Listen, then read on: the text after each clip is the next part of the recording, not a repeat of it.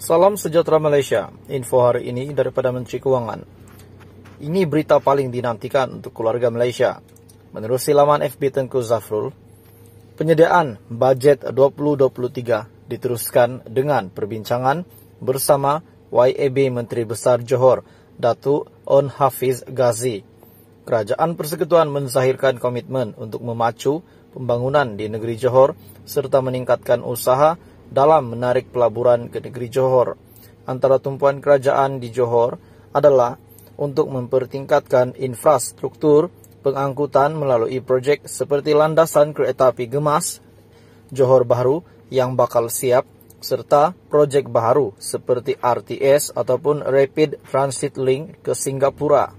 Terima kasih YAB Datuk atas input-input yang sememangnya akan membantu dalam merangka sebuah belanjawan yang mempan demi kesejahteraan. Hai halo, salam sejahtera, selamat pagi tuan-tuan dan puan-puan semua yang saya amat kasihi, yang saya amat um, hormati semua. Jadi hari ini ada satu berita baik kepada golongan B40 um, bagi penerima bantuan golongan B40. Nah, selain daripada BKM yang akan dikreditkan pada bulan hadapan pada bulan September, ada satu berita yang ada satu bantuan yang akan dikreditkan untuk pengguna account BSN nah, di seluruh Malaysia yang sudah membuat permohonan bantuan ini.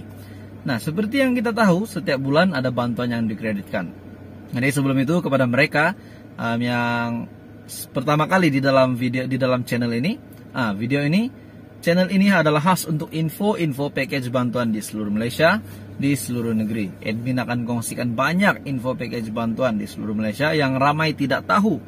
Ah, contohnya BIB, ah, ramai tidak tahu apa itu BIB bantuan ibu bersalin RM 450, ah, bantuan Salam, bantuan JKM, ah, bantuan program Save 3.0, ah, banyak lagi bantuan sebenarnya cuma ramai yang tidak tahu jadi tidak dapat buat permohonan.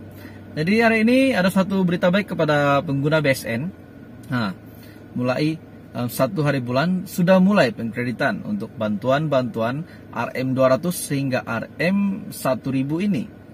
Nah, bantuan apa? Ini adalah untuk BIM40. Kenapa saya kata untuk BIM40? Sebab kebanyakannya yang terima bantuan ini adalah daripada golongan BIM40, golongan berpendapatan rendah. Nah, kenapa mereka layak bantuan ini? Sebab mereka um, dikategorikan di dalam beberapa dalam package bantuan ini ada beberapa kategori untuk penerima-penerima yang layak untuk memohon dan kepada mereka yang sudah lama membuat permohonan mereka sudah mulai menerima bantuan um, sejak permohonan diluluskan mereka sudah mulai terima bantuan setiap bulan. Nah, kenapa saya cakap um, kenapa saya kata account BSN, kenapa penerima untuk berita baik kepada penerima bank BSN sebab bagi mereka yang mempunyai bank BSN mereka akan menerima pengkreditan bantuan ini. Juga kepada bank-bank lain yang telah mendaftarkan account bank mereka untuk pengkreditan penerimaan bantuan-bantuan ini. Nah, bantuan yang saya cakap ini adalah bantuan JKM. Bantuan JKM dikreditkan setiap bulan. Bantuan JKM dikreditkan setiap bulan untuk semua penerima. Nah, bantuan BTB, bantuan BWE, bantuan BOT, bantuan BKK, nah, bantuan nah, banyaklah bot semua semua adalah untuk golongan B40 yang berkelayakan yang sudah membuat permohonan mereka akan terima pengkreditan. Jadi berita baik kepada tuan-tuan dan puan-puan semua yang um, mempunyai permohonan yang sudah buat permohonan dan sudah diluluskan. Jangan pula terkejut sebab ada beberapa bantuan JKM ini yang telah ditambah baik. Nah, contohnya bantuan BKK telah ditambah baik, bantuan BPT dan juga BTB kalau saya tak silap telah ditambah um, jumlahnya RM150 hingga RM500.